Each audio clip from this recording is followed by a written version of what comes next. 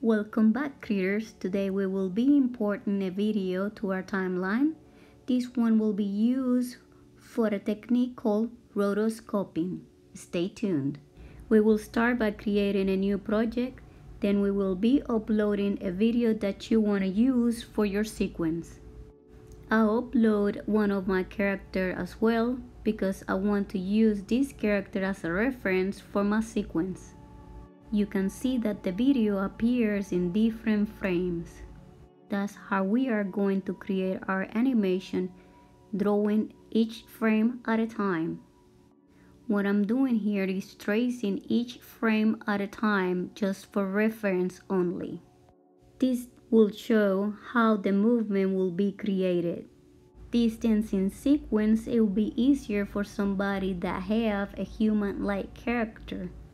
For those of us that our characters don't fit this standard, this dancing sequence will be challenging.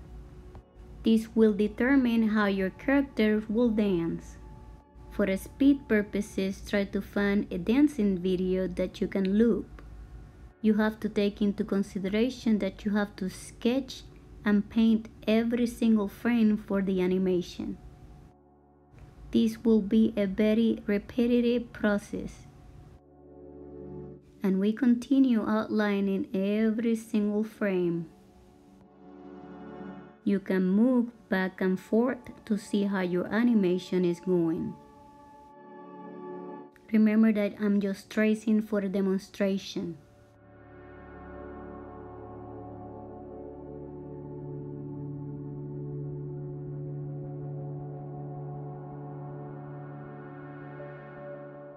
Now you can see the movement with just few frames. Now I'll bring my own character into the scene and you can see that the legs are a little bit shorter.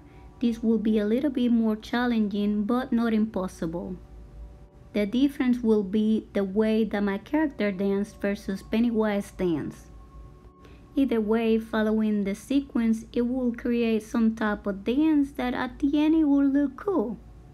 Also remember if you change the frames per second once you have the dance done, this will alter your dance a little bit.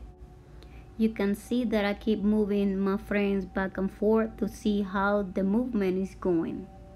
Now I'll bring my character for color reference and I started coloring my character. You can see that when I apply the color with the bucket, there's a little gap in the edge. You can fix that gap by moving the slider above.